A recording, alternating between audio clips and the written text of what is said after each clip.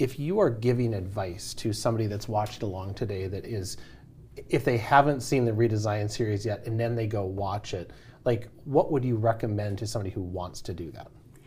Um, start someplace. That's what we talked about. Is to start someplace. I had that one wall that we had done back in 2020, and that one I thought was a great example of how to do things. You know, break it up into pieces, and it was my one display that I had, and I went to it for everything. And so I started there, and now I have so much more. Yeah, for sure.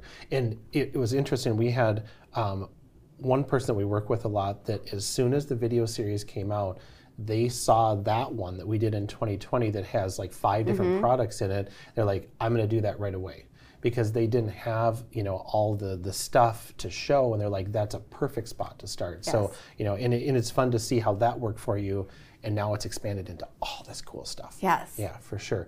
So, um, what's your second piece of advice? I'll put you on the spot. Do you remember what that was about watching the, the? Oh, to watch the redesigns early, yes. Yeah, I regret not watching them sooner.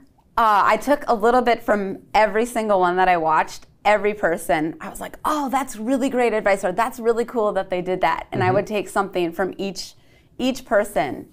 I did take a little bit, and Yeah, I loved it. And then, too, even watching like the lives and all that kind of stuff, like there's just so much great information and to hear other people, you know, something that you might be thinking, it's it's nice to hear other people are going through the same thing oh, or thinking the same thing. Especially like you know, as a business owner, you you've been in business a long time, but it's you yourself and you, you know, and Elvie and the kids. You know, it's hard to have that that dialogue where you know somebody that is outside the family gives you recommendations or you know kudos or maybe you shouldn't have done that you know Yeah. it's good for that that kind of stuff so now that you have all the displays in and it's been you know a handful of months you've gone through the holiday season have you seen a product shift Oh, definitely. I've sold a lot more metals.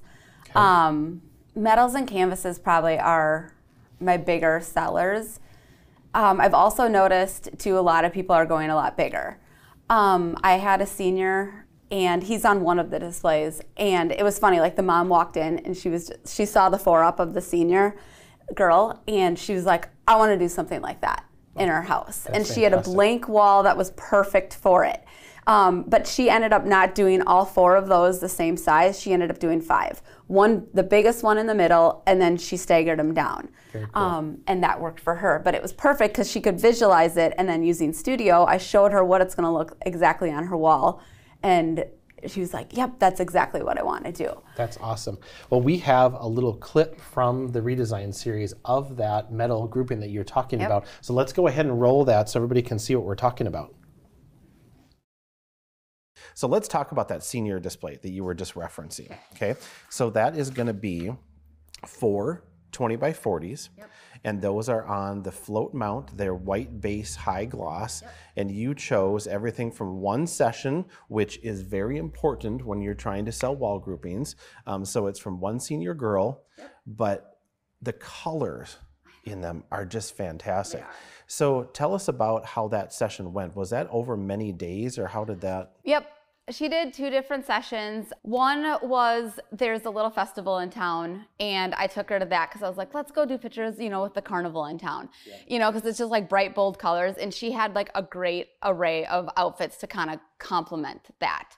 And so we did a couple there, and then she did a, a different session. She actually came down to Madison. We did some stuff downtown in like a more artsy part of the town where there's just a lot of like painted walls and you know different areas to go. And that's where we found like the pink wall and then the wall with the, the multicolors on it. So it was it was fun and like tying them all together is something maybe I wouldn't have done before. But then when I started looking, I'm like, I just really want like bold, bright colors that pop, especially on the metals up front with all this natural light. Yeah, totally. And it really ties in well together. in that grouping, I love that it's four of the same size. It's like a film strip storyboard of um, of her session, and it's very easily like looking at an, an album page and just putting it up on the wall.